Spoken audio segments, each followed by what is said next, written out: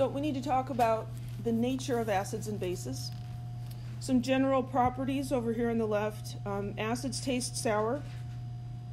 They will dissolve many metals. They'll turn blue litmus paper red. Litmus is actually um, an indicator. Litmus paper just is a paper that has litmus on it. And acids will neutralize bases. Here are some common acids and where they occur and are used. Um, and as you can see, there's a lot of different uses for them. When we look at the formulas for acid, acids, we notice that they all start with a hydrogen. And they are written that way intentionally because that's the hydrogen that's acting as the acid. Some of these, like um, acetic acid, there's one hydrogen out here and there's three hydrogens in there. Um, and that's done for a reason that we will talk about. Bases. Bases have a bitter taste. They feel slippery.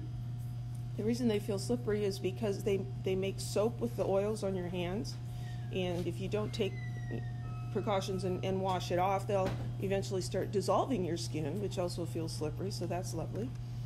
Um, bases turn red, litmus blue. So there again, we have acid, base, red, and blue. Base and blue both start with a B.